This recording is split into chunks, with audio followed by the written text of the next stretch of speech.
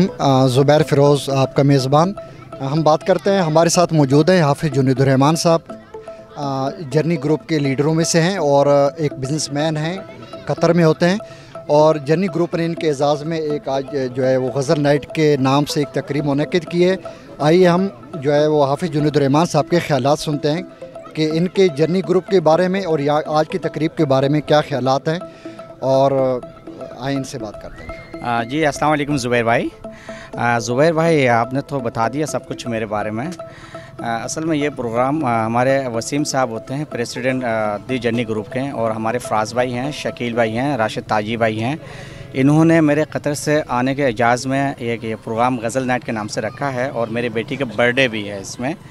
तो the journey in S के लिए काम कर रही है और यहाँ के जो भी मसाइल है बिल्डर्स के साथ मिलकर तमाम मसाइल को हल करने के लिए कदम ब कदम आवाम के साथ है। और आपका बहुत बहुत शुक्रिया पी के अच्छा हाफिज़ जुनेद साहब ये बताएँ कि आपकी जो साहबजादी हैं माशाल्लाह कितने साल की होंगी जिनके अभी आज बर्थडे है? अल्हम्दुलिल्लाह मेरे साहबजादी जो आज बर्थडे है उनके दस साल है टेन ईयर्स अच्छा माशाल्लाह उनका नाम क्या है? सैदा मुनम फातमा। अच्छा अच्छा माशाल्लाह। चलें जी बेस्ट ऑफ़ लक आए हम अगले मेज़बान की तरफ़ बढ़ते हैं। Thank you very much sir